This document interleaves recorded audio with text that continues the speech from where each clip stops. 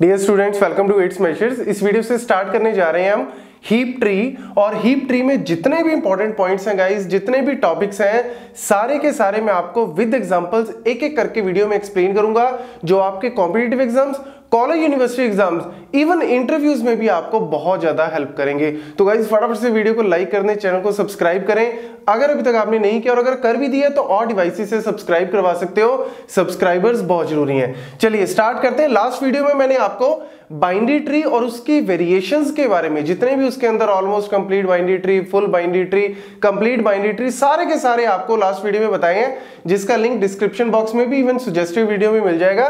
Next हम लोग start करने जा रहे हैं यहाँ से इंट्रोडक्शन टू हीप ट्री और हीप ट्री में हमारे पास एक तो इंट्रोडक्शन पार्ट आ गया insertion very important deletion heap sort heapify array representation of heap and priority queue ये सारे के सारे टॉपिक्स हैं। आप जो मर्ज़ी एग्ज़ाम की कोई भी तैयारी कर रहे हो, आपको इनसे बाहर कुछ भी नहीं आएगा। तो एक एक करके हम इन वीडियोस को लेके आएँगे। यहाँ पे सबसे पहले अगर हम बात करें हीप ट्री अगर मुझे एक ट्री को हीप ट्री बनाना है या मेरे को बोलना है कि yes it is a heap tree तो it must follow two properties one is a structural property and other is a ordering property structural property का मतलब क्या है? अगर आपको एक ट्री को हीप ट्री बनाना है तो it must be ACBT ACBT का मतलब क्या है? ऑलमोस्ट कंप्लीट बाइंड्री ट्री अगर कोई भी ट्री को हिप ट्री बनाना है तो सबसे पहले वो होना चाहिए ACBT that is almost complete binary tree और ऑलमोस्ट कंप्लीट बाइंड्री ट्री का मतलब क्या है? इसमें मैंने लास्ट वीडियो में मैंने आपको बता चुका हूँ, फिर फिर बता देता हूँ कि दो प्रॉपर्टीज़ होती हैं।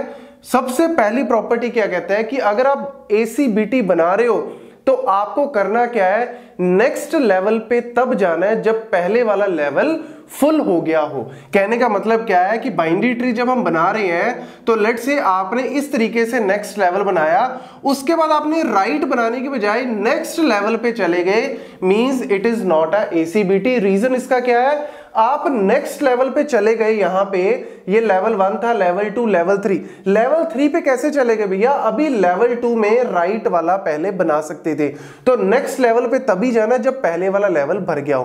पहले तो ये कंडीशन होती है। दूसरी कंडीशन क्या कहती है कि पहले लेफ़्ट वाले चाइल्ड को भरो, फिर राइट वाले चाइल्ड को भरो। जैसे अगर मैं इस तरीके से बना देता हूँ, जैसे ये मैं बना दूँ। तो क्या ये एसीबीटी होगा? नहीं, ये एसीबीटी नहीं है। रीजन उसका क्या है? आपने ये ठीक है, यहाँ पे ठीक है, यहाँ पे ठीक है, लेकिन आपको सबसे पहले लेफ़्ट वाला बनाना है, फिर राइट वाला चाइल्ड आपको बनाना है। तो ये दो प्रॉपर्टीज़ आपको मेंटेन रखनी है। तब आप कह सकते हो कि यस इट इज़ एसीबीटी अब एसीबीटी प्रॉपर्टी यहाँ पे सेटिस्फाई लेट से हो गई। नेक्स्ट क्या कहता है? ऑर्डरिंग प्रॉपर्टी ऑर्डरिंग का मतलब क्या है? जो हीप ट्री है ना, आप दो ऑर्डर ले सकते हो। One is a max heap other is a min heap by default हम जानबूझ के या आप कह सकते हो कि मैक्सिमम केसेस में आप मैक्स हीप को ही फॉलो करते हो, लेकिन आपको पता दोनों के बारे में होना चाहिए।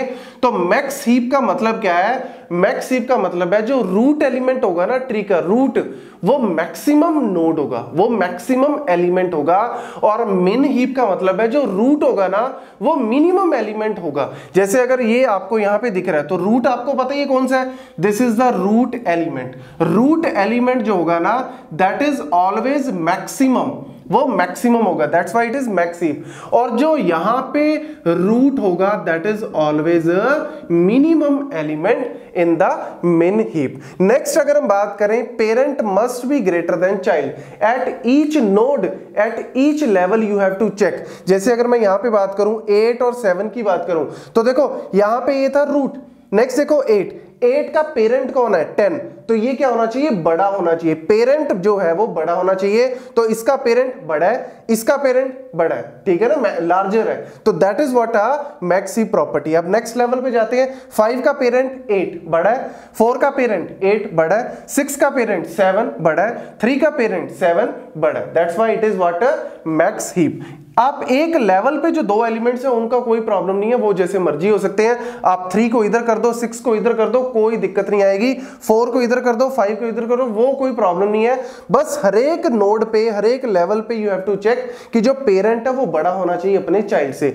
मिन हीप के केस में छोटा होना चाहिए। जैसे रूट तो आपको पता ही है मिनिमम एलिमेंट बनाना ही बनाना मिनिमम तो इसका अगर मैं नेक्स्ट देखूँ, ये देखो, यहाँ पे जो चिल्ड्रन है, जो चाइल्ड एलिमेंट है चाइल्ड अपने पेरेंट से चाइल्ड जो है वो अपने पेरेंट से बड़ा है। ये चाइल्ड अपने पेरेंट से बड़ा है। ये चाइल्ड अपने पेरेंट से बड़ा है। ये चाइल्ड अपने पेरेंट से, ये चाइल्ड अपने से, ये चाइल्ड अपने। तो each level must follow this property तब जाके हम बोलेंगे मैक्सीप एंड मेन हिप तो इसके ऊपर नेक्स्ट हम क्वेश्चन डिस्कस करेंगे कि एक दो क्वेश्चन मैं आपको गेट लेवल के करवाऊँगा कि कैसे हम चेक करते हैं whether it is a max heap और मेन हिप नेक्स्ट हम हीप को एक एग्ज़ाम्पल से समझते हैं और इस एग्ज़ाम्पल को मैंने एक्चुअल में गेट का प्रीवियस ईयर का क्वेश्चन ही मैंने यहाँ पे उठाया हुआ है। तो क्वेश्चन क्या कहता है? Which of the following is a max heap तो आपको मैक्स ही पूछ सकते हैं मिन ही पूछ सकते हैं। तो यहाँ पे चार ऑप्शंस मेरे को दिए हुए हैं। ऑप्शन ए देखो ध्यान से। ऑप्शन ए मैक्सीप आपको लग रहा है। तो मैक्सीप जो है, वो आप देखते ही बोल सकते हो कि it is not a max heap reason क्या है? Reason is what a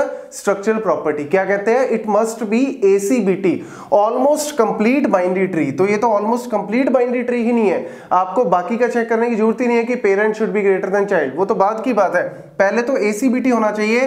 तो ये देखो, पहले लेफ़्ट चाइल्ड भर रहा है। उसके बाद राइट भरना चाहिए और जब एक लेवल भर जाए, तब नेक्स्ट लेवल पे जाना चाहिए। यहाँ तो एक लेवल को पूरा भरा नहीं और नेक्स्ट लेवल पे चले गए। It is not a ACBT तो अगर ये एसीबीटी ही नहीं है तो मैक्स मिन को चेक करने की ज़रूरत ही नहीं है। देन आ जाओ जी ऑप्शन बी पे। अब ऑप्शन बी की बात करें तो ये एसीबीटी है ऑलमोस्ट कंप्लीट है।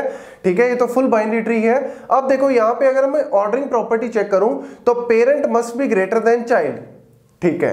Parent must be greater than child, ठीक है?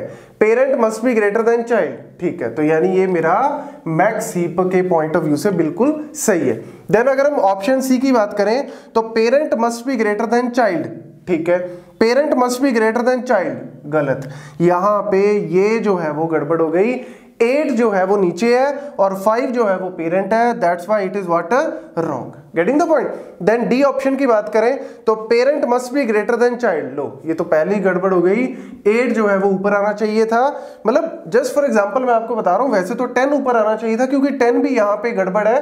बट आपको जस्ट एक पॉइंट चेक करना है कि जहाँ पे भी आपको लग रहा है कि ऑर्डर जो है वो प्रॉपर नहीं लिखा हुआ, आप क्लियर कट कह दो it is not a max heap तो इस क्वेश्चन का आंसर एक तरह से क्या बन गया? बी दैट इज़ मैक्सी तो इस तरीके से हम चेक करते हैं मैक्स मिन नेक्स्ट हम बात करेंगे इंसर्शन की, कि यार हिप ट्री को बनाते कैसे हैं इंसर्ट कैसे करते हैं, सारे पॉइंट्स थैंक यू